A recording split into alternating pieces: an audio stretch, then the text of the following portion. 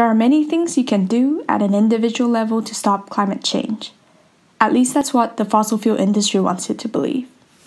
They don't want us to take collective action or to vote or to get other people to vote. In this episode, we have Grace Nosek joining us. She is a climate storyteller, law student, climate activist, and the founder and director of the Climate Hub at the University of British Columbia.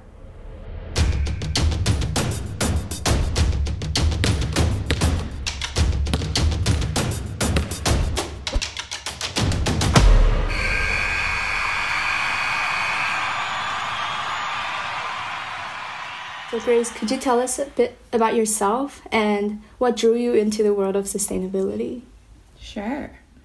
So, uh, I my name is Grace Nosek, and I'm getting my PhD in law at the University of British Columbia. Uh, but I guess the way I would describe myself most is a climate justice storyteller and organizer, and I've been doing environmental justice or climate justice in various ways for more than a decade. And I've come to realize that I just love story in every capacity. And uh, that that's kind of what I want to be doing uh, with my life. So fusing all of these other things that I'm interested in with story has been uh, such a delight. Um, and yeah, I, it's always interesting when people ask me who I am because I'm trying to move away from the model of like our titles or our work defining us.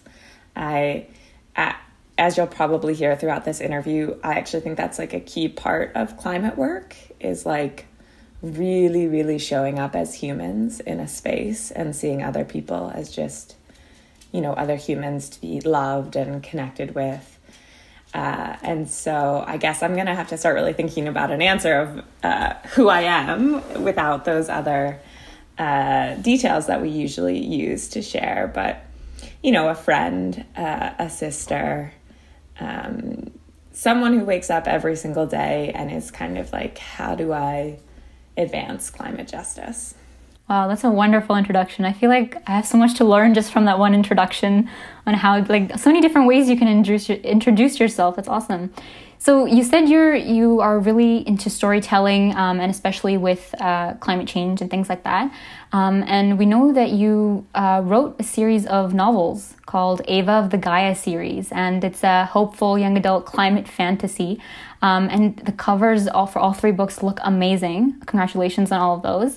Um, so, do you want to tell us a little bit about uh, what got you into writing these stories and what you hope to achieve through the through the Ava of the Gaia series? Sure. Um, I love that you think the covers are beautiful. They're by Sarah Carolyn. She's an incredible artist. You can find her online. Um, I just think that people fundamentally care about other people and other beings, and then systems kind of tell them they shouldn't care or make them so busy or stressed or worried about their own existence and, um, you know, teenagers, I think, still care a lot, and they haven't been told that that's idealistic or foolish or they need to look elsewhere or, you know, gotten caught up in, in some of those systems yet. And, uh, you know, Twilight was really popular just before I was thinking about writing mine because I wrote them right at the end of university, the first one. And, I this was a book that had captured hearts and minds around the world and I wasn't like you know and I found it intriguing as well but wasn't particularly impressed by the message of Twilight um, whatever it might be like the values enshrined in the book and I was just like man what if we could have Twilight but like climate justice mm-hmm. or you know um, I think teens, especially, still have such a deep connection with animals and the natural world, and um, kind of weaving those into story and and get people to think about. Um, you know, uh, confined animal feeding operations, animal agriculture, these different things. And then, you know, just, of course, injustice, because we know climate change is the biggest human rights issue of our time. So, what communities are having to uh, bear the burden of that, but also to just make it joyful and not apocalyptic. Um, because there's so much joy in coming together with your friends to fight for this, and there's so much joy in like experiencing the natural world however you do that. So, also, classically in my life, a man told me women couldn't write, and I was like, okay, well, I better write a book. oh, I like how you really combined, you know, all your passion, like Twilight, and then your your work on sustainability into the same area. Yeah, I should clarify that Twilight was not necessarily one of my passions, although I was ins- inspired by the way that it really like created this fervor. Like people were fanatical about it. And why are people not this excited about like elections or land defenders? And i think that they could be uh, if those worlds were open to them and made accessible. I think it's a really good connection to make. And um, is that something that you've continued to update? Like are you writing more books? What what have you been up to lately yeah, that's a great question. I'm writing so much, like so many kinds of story. I mean, particularly during the pandemic, um, I live alone, and so I just have like leaned into story as such an anchor. I should also mention um, I wrote the books uh, it's a trilogy, Ava of the Gaia, and I wrote them specifically to make them accessible. So all of the books are free as ebooks um, on whatever site you kind of download ebooks. Uh, so hopefully, if you're interested in that, or if you know young people who kind of want hope um, and you know young adult fantasy, yeah, I am yeah, I'm writing a few more novels that I'm really excited about. They're not part of the same trilogy. One is actually really focused on um, unwinding toxic masculinity because I think toxic masculinity is one of the greatest drivers of climate injustice. And I think that, you know, that's an interesting conversation to have around sports as well. I think a lot of folks have been bringing up how sports can be both a place where toxic masculinity kind of is inculcated, but also kind of create these atmospheres, depending on who sets the tone, where a different form of masculinity is um, kind of held up and centered. Um, so yeah, that's uh, that's a novel I have out to agents right now, actually, and then I'm working on one about. Actually, I might not say because it's so early. um, but I'm also writing some. yeah, I'm writing some class. Yeah, I guess at the end of university, I was actually very seriously injured in college, and so ended up with a lot of extra time and you know realized that I'd always enjoyed writing short stories or journaling and had this challenge from this dude that women couldn't write and so then I started and I think only this year I knew that I loved telling story, like in every possible way. And story weaves through our whole life in this world. Like everything is a story or can be.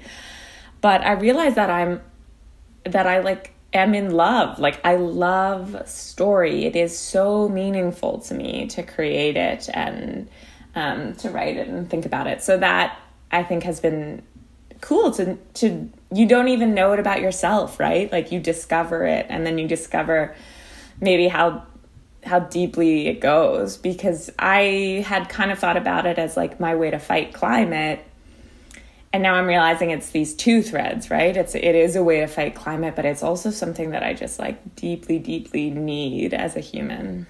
That's awesome. And um, you spoke a little bit about sports and sustainability. So we're going to shift gears a little bit, and, and we know you've done some work in the in the sports and sustainability field, um, and you've done some things with athletes. So uh, do you want to tell us a bit about your involvement in sports and sustainability specifically, and what does sustainable sports mean mean to you? Sure.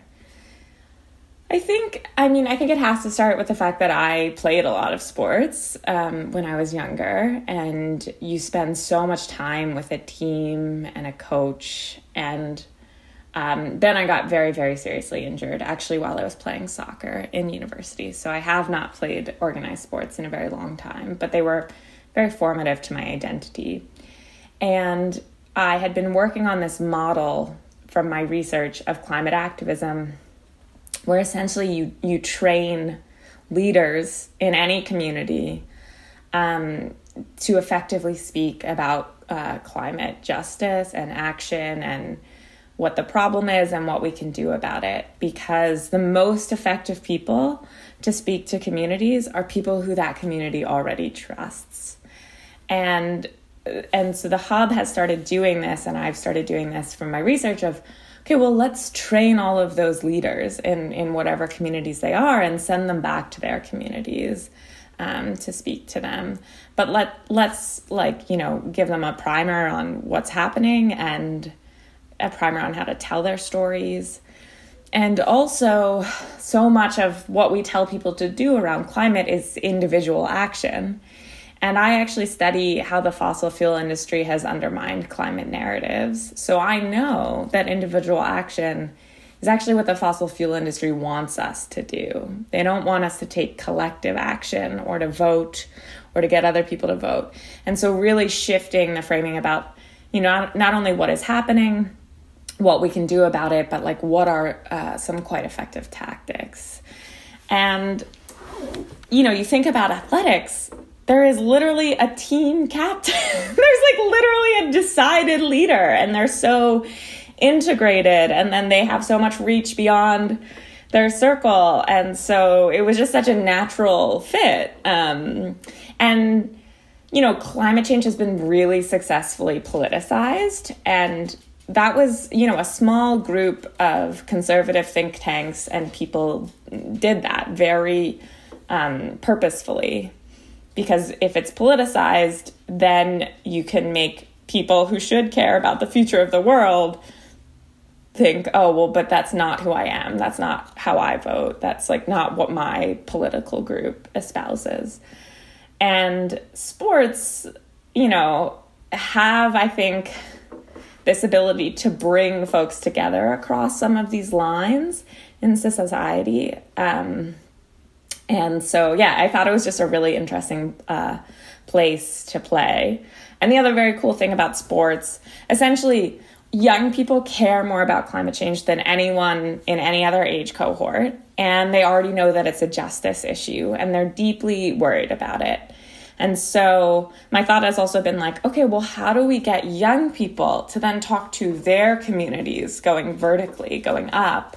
And again, sports are so wonderful for that because there are all ages playing and they tend to be like a densely connected network. Um, you know, like rugby players know the new rugby players, hockey folks see the other hockey folks at the rink. And so yeah that's it was just let's let's train these folks who want to. Obviously we didn't make it mandatory. We just offered training and it was so cool we i went to you know the meeting of all the team captains you know this climate organizer uh, it was the tallest group of people i've ever presented to and i was just like who like you know we want to do this thing we care about climate justice we're going to make this film and I loved it. It just like broke through all the stereotypes. Immediately, like a football player was like, Yes, we'll do it. Our team will love this. Um, and I thought that was so important, especially because you usually see like skiers or surfers, people who are like connected, quote unquote, to these natural places for their sports. But I was like, let's have football players and basketball players um, uh, talk about climate. Like, how interesting would that be? How different to show that this isn't just like, you know, snow melting, so let's worry about it as skiers, but like every human on this planet is threatened by climate change. Yeah, I think um, for today, even, you know, it's it's a lot easier to connect these athletes to the the climate the whole climate issue because you know it's affecting their sports it's affecting a lot of what they're caring about so I just want to ask, like, from your experience working with athletes, was there any kind of misconception that these athletes had about sustainable practices? Well, uh, you know, no misconceptions. I thought they were incredibly savvy and thoughtful and you know driven to to be doing taking on this work on top of these wild schedules that they had but like almost every other person in in the world. they have been taught from birth uh, that environmental citizenship is recycling. And that narrative is so pervasive. And of course, we need people to care about the resources that they use. There are various reasons why uh, doing some of those things can be wonderful. They can set an example. I I do things that could be considered individual actions. I'm I'm vegan. You know, I try not to fly. One of the big things I do is I just don't buy anything firsthand. Uh, one of the reasons I love that is it saves me a lot of money. And so I, I buy myself more time to be involved in other things. So, of course, there are reasons to do those things. But actually, the best thing you can do on climate if you have 10 minutes is vote. The next best thing you can do if you have like 20 minutes is get five of your friends to vote. And I'm being purposefully vague because it's literally any election you can think of, like your high school election, your college election, your um, city election, province, municipal. So, so, so few students um, get access to vote in these places or reminded or, you know, that's a whole another conversation. One I would love to have with you folks because one of my big focus with athletes has been getting their peers to vote. Um, but you know, the other thing that you can do is call your bank and tell them to stop funding. You know, but people spend hours, hours, and I've been one of these people. You know, standing in the store being like, "Is this the light bulb that like reduces the energy, or is it this one, or should I?" Ugh. And it's so much energy that that ta- is taken from you. And that's exactly what these companies want. They want you to think it's your fault. They want you to blame other people and they want you to spend your energy which none of us have a lot of in this kind of neoliberal grind on trying to figure out like can I recycle this? And recycling is another false narrative pushed by the fossil fuel industry. So we just need this massive push to say actually like electing climate justice champions, supporting land defenders, supporting indigenous sovereignty. That's climate action. You know, these other things, yes, we can do, but that's climate action. Wow, that that was very inspiring and very thought provoking. Also, to to realize that you know it's the problem is more. It's a systematic systematic problem. There's a lot of different parts of it that are intertwined together that are that are making it difficult for us to, to fight against some of these problems that we're facing. Oh, I just want to give the basic example because I'm a, I am a lawyer. Um, so lawyers are kind of all familiar with this, but just to give an example of why taking collective action over individual, because if if as a country we get together and we say let's get rid of plastic and the government mandates that nobody can sell plastic anymore, that is the game changer, you know? And then people have to come up with creative other uses rather than you sitting there as a consumer, you know, trying to sort this through, then watching other people, you know, mess up your garbage so that, that it doesn't actually get there. And and you can spend your time, you know, advocating at that system to get the legislation passed. Um, and what I see is so I'm this chapter I'm working on right now is that the fossil fuel industry has spent so many billions of dollars blocking government climate action at every possible level in so many countries. The kind of action that is, you know, it just is so much more impactful than what we can do as individuals. Um, and so, yeah, really kind of coming back in this organized way to say, we know what you're doing, um, we have our own stories, and we're going to act systemically as well. I think that's a very good perspective because I think individual actions and collective action has always been like the two like a big debate topic and um, i think if you do it individually you kind of really get influence about around about the voices around you and then you see that you know there are people who are not taking action so your action wouldn't help so that like all of this really affects your motivation to take on these climate actions. So, um, just want to bring it back to um, how do you think athletes themselves could take on sustainable practices and have you tried to encourage them in some way? Yeah, To- I mean, oh, I think there like are so said, many ways. right? Um, I myself, along with the hub, uh, organized a climate ambassador workshop for athletes. And so we had kind of 60 varsity athletes come out and learn about, you know, some of what the fossil fuel industry has done, some of the social science on effective climate framing, which is really that like we are we are also powerful in in telling stories to the people that we care about. In we are the best climate messengers in the world to our own communities. And we are the best at getting those people to vote. There's no one who has more power over them than we do. Um, and yeah just like hope is really important. Agency framing this as a justice issue you know making also just like people are terrified. They are so scared. And i so i think it's a moral prerogative to give people a hope that they'll have a future particularly young people. So that was incredible. And then obviously we made the video uh, which i'm so proud of. And it took an incredible team of people. Um, if you do check out the video which hopefully you folks will link to it um, look at all the athletes who were in it. Um, look at how many people collaborated uh, and came together on this project. And it, it was such a cool fusing of worlds of athletes and, and climate justice. But i think what athletes can do and this will be no surprise is you know the most effective thing i can think they can do is um, speak out about climate justice.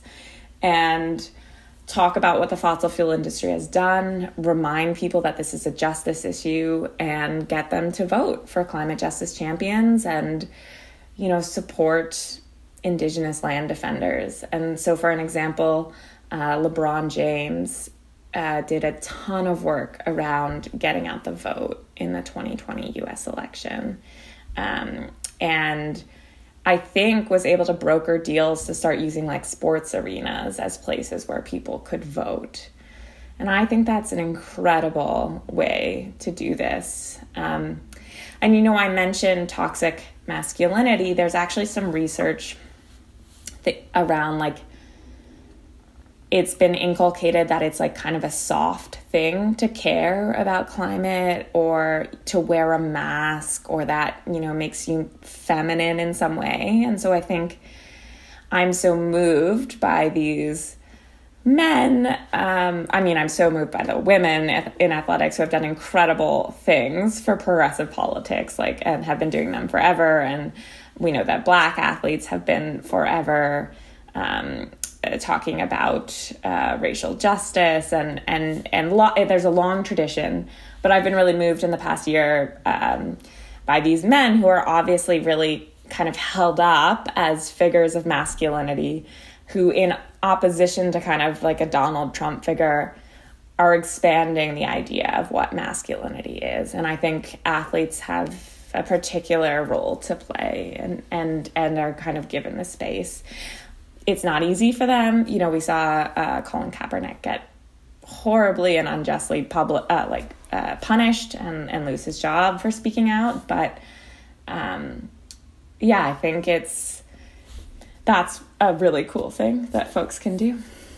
That's awesome. And I, I think you put it really well that, you know, when people um, that are already in the limelight, they use their position and the resources they have to bring attention to things like, you know, you gave the example of LeBron James. He, he brought attention to the uh, idea of voting and he was uh, endorsing arenas to you know be a place where people can come and vote um, and then similarly you say with athletes the best thing that they can do is is speak up about it and talk about it and you know raise awareness among their peers um, and that leads you to the film that you spoke about climate comeback which is so gorgeously captured all the strengths um, the courage and the team spirit that that sports inspires um, and I honestly don't think anybody could have done a better job with a video like that. It was very remarkable. So, congratulations on that.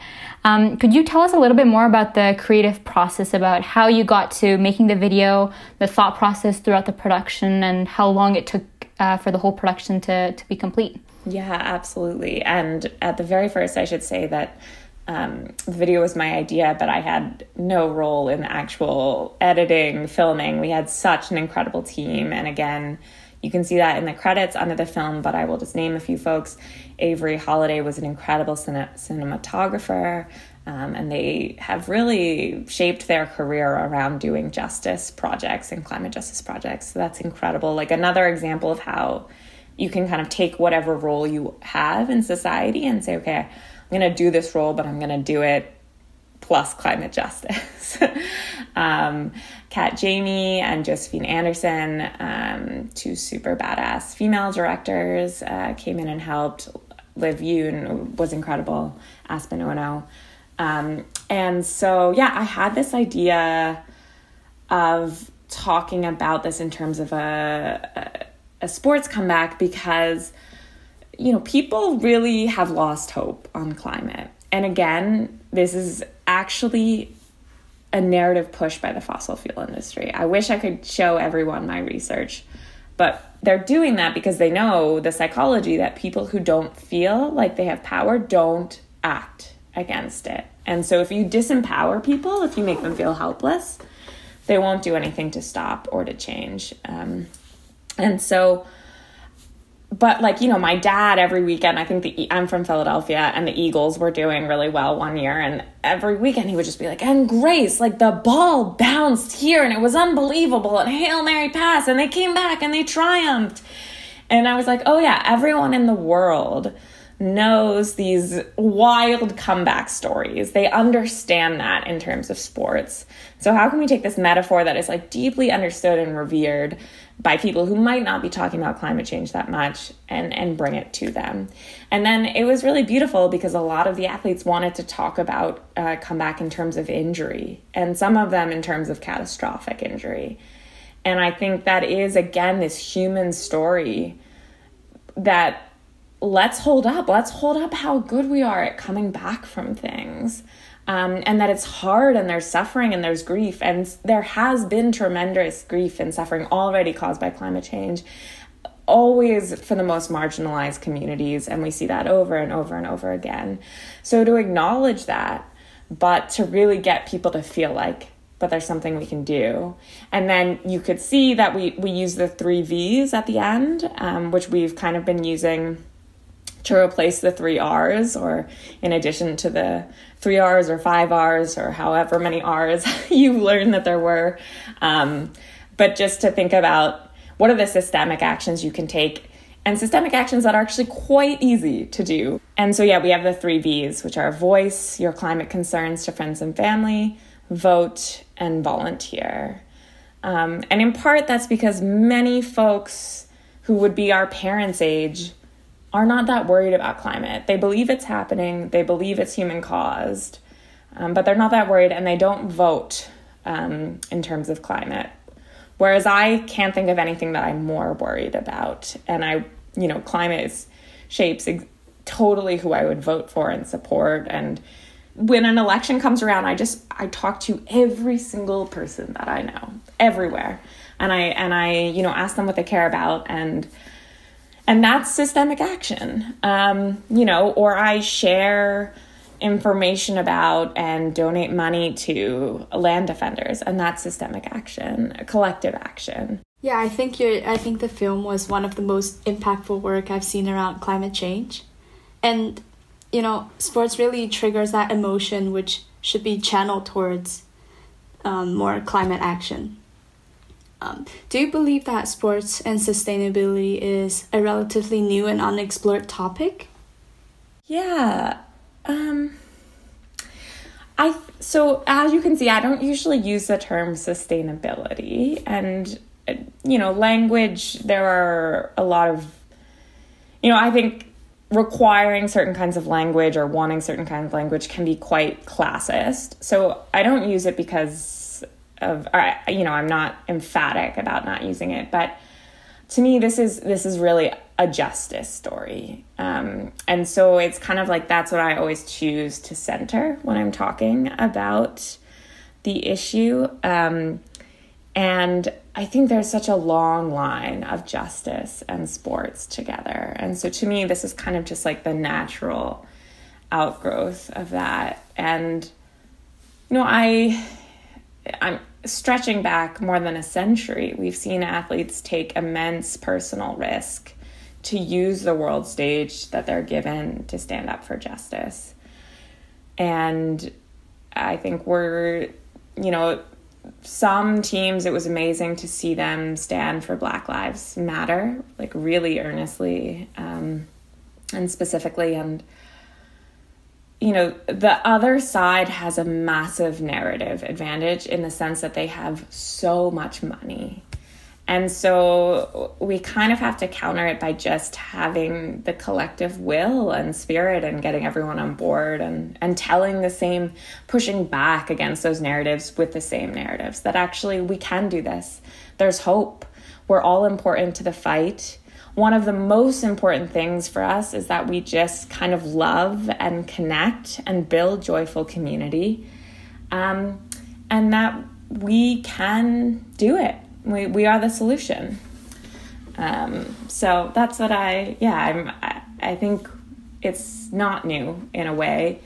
And then, of course, it's awesome to see the stadiums do solar power and these other things. But what I love really is the chains and the people and the coaches and the players who are saying, no, you know, we stand for justice um, and you can't silence us.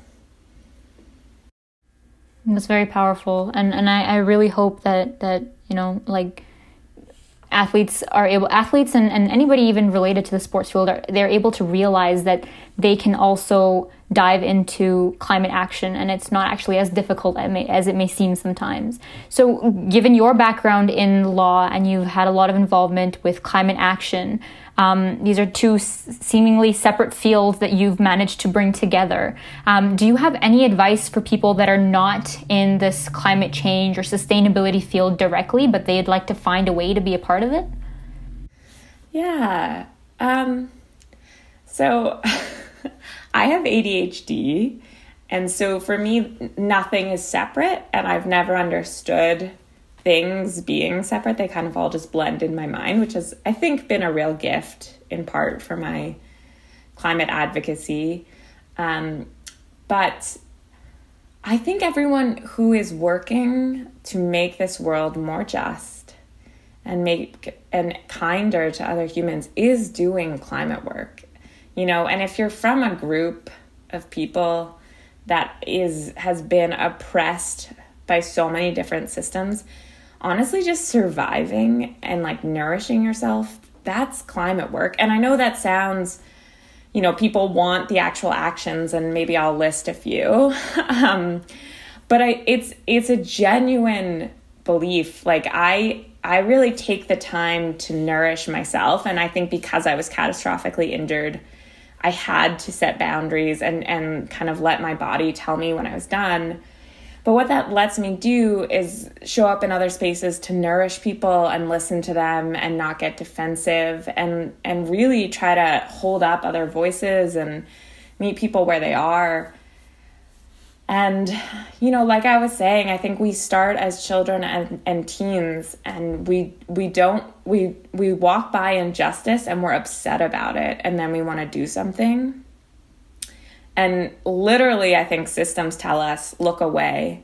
You know, it's that person's fault, or there's nothing we can do, you know, because they have to rationalize why the system is continuing. Like how you could see such misery um, and human suffering and just, you know, not care, keep doing what you're doing. And so I think the more that we just say, actually, I'm I'm going to look and I'm going to try and do my best wherever I can to just be as kind as possible, as thoughtful to all beings.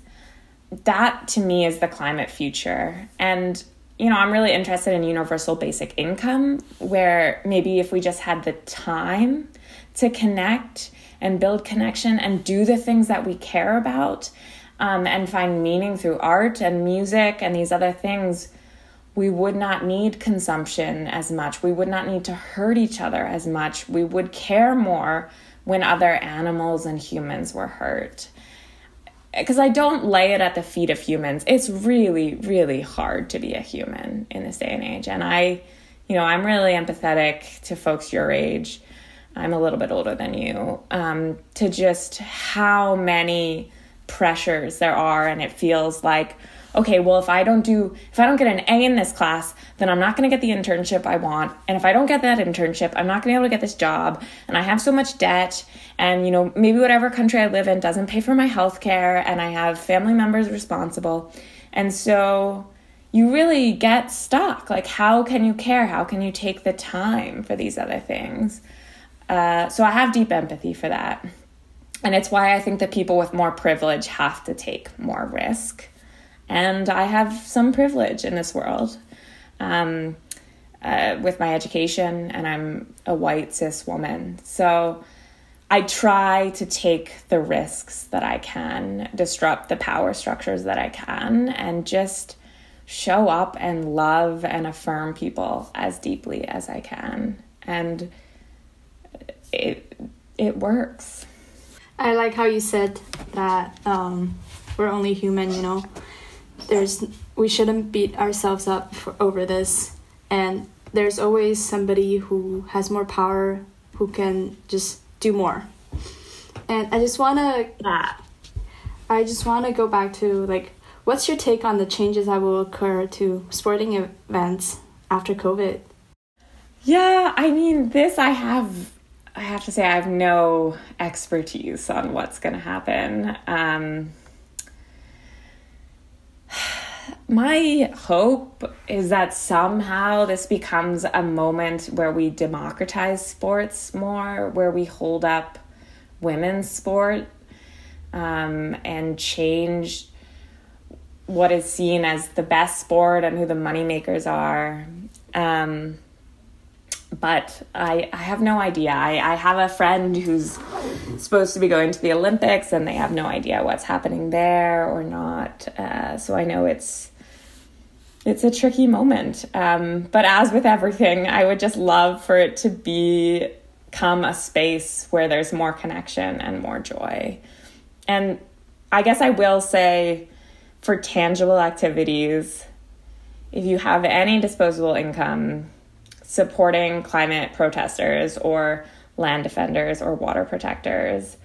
And that's because these these folks are taking the ultimate risks and they're not doing it for themselves.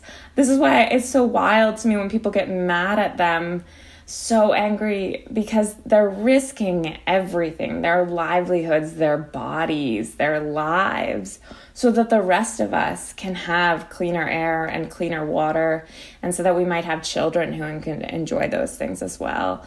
And truly, some of these folks have nothing, no money, and and they're still doing this instead of, you know, taking, uh, you know, doing what we're all doing in this system, which is trying to survive. They've stepped outside of that and they're trying to, you know, change the system so that we can all thrive. So that's a very tangible thing and make sure that you always share those stories and those calls and again i just i just released a paper which you can look up about how the fossil fuel industry has spent so much time and money and energy targeting climate protesters and backing bills um, to crack down on them uh, so you folks maybe can link to that um, but just another example of how they have so shaped the systems we're playing inside. And then just make climate joyful. Like if you have a friend that you love seeing, pick something to do together for climate. Like everything that I love in life, I've just like added climate to it. And so my climate work is the most joyful, meaningful, light work. It's how I meet people, it's how I you know, we always have a dance party at the hub when we have a climate event. And uh, yeah, just I think find that community, do it together, and center justice and, and elections. We we've got to start electing climate justice champions. And there's going to be a municipal election soon. And it's very clear who the climate justice champions are and, and who is not. And when I say climate justice, you know, it's all those systems bundle up white supremacy, colonialism, heteropatriarchy. So it's what's cool about that is someone who is a climate justice champion by nature has to want to disrupt those other systems. Yeah, that's really interesting. It's a very it's a very complex thing with a lot of layers to address and sometimes it can be a little bit difficult and overwhelming, but like you said, you know, if you add climate to different aspects of your life and and you think about it in different aspects of your life, it actually can become a very a joyful journey when when you're on this journey of, of climate action, which is really inspiring. Literally the most easy thing you can do is just have a conversation with your parents the next time there's research showing that people like we think people are talking about climate all the time. Outside of a certain bubble people are almost not talking about it at all. Teachers very rarely teach it. And so you know just just chatting like this means something to me. I i need you to care about it as well. I told my parents that i would not give them a grandkid unless they stepped up the fight to create a world where you know a grand could could thrive. And so they're they've never been the most kind of traditionally politically active uh, but they really did it. I'm american so they really stepped up in the last election. And i i made it like very very personal. You know i said like this i can't sleep at night. Like i need you to do this with me for my health that's amazing. That's so inspiring. I think just maybe starting some of those conversations, even at a very basic level, they can go a really long way. Um, so that's awesome. Um, so, is there anything that you'd like to share with our audience, our listeners, or anything you'd like to specifically say to the UBC community regarding climate action, climate change, sports, sustainability, anything of those of that sort? I guess first I would just like to thank you folks because, um, you know, you're volunteering your time. This is literally exactly what I've just said. You're making it joyful, you're doing it together. Um, you're going to tell a story that lots of different people will hear. Uh, so I'm deeply impressed by that, um, impressed by you both. And it, I know it has not been an easy year for people in university and i guess just like i i see you. I hear you. Like i this is the broader community. Like i i see you. It's really really really hard to be human right now. And to ask someone what seems like to like lead a movement um, but i promise you it's it's not that. It's just orienting towards justice and starting the conversations and you know, I know what will happen. Any of you out there who are interested, if you just take the first step of showing up at a meeting or going to an event or asking a friend if you can do something together, registering to vote, registering other folks to vote, the next come really quickly and easily. It's always the first step that's the hardest. Um, but definitely take a little bit less of that energy if you're like really focused on recycling and doing these other things. Like give yourself a little break and maybe write to one of your representatives or call your bank. Um, and there's a bunch more info uh, on the fossil fuel industry, what they're doing at, at my website, gracenosek.com, because um, I think that's a really important part of the story. And we need to start telling it. And it's it, the tobacco industry, you know, pioneered this thing of um, creating doubt around the science around smoking, and hundreds of millions of people died. Um, and the fossil fuel industry has worked to manufacture doubt around climate and then lots and lots of other narratives. And so we need to recognize that they have kind of created the playing field that we are playing on. And I guess this is a sports analogy. I'm kind of like, no, we're not going to play on your field. We're not going to play by your rules. We're not going to play the game you've decided. We're going over here. we're going to play our own. Uh, so, yeah, that's how I would end it. Okay, thank you. Thank you for sharing with us your perspective on like voting, climate justice, and Black Lives Matter. And I think the world needs more people like you who are at the center and really just trying to influence people in so many different pers- from so many different perspectives. So yeah, thank you for joining us today. If you're listening to this podcast and haven't done so already, make sure you check out gracenosek.com for more of Grace's work on her novel, podcast, and the Climate Comeback short film.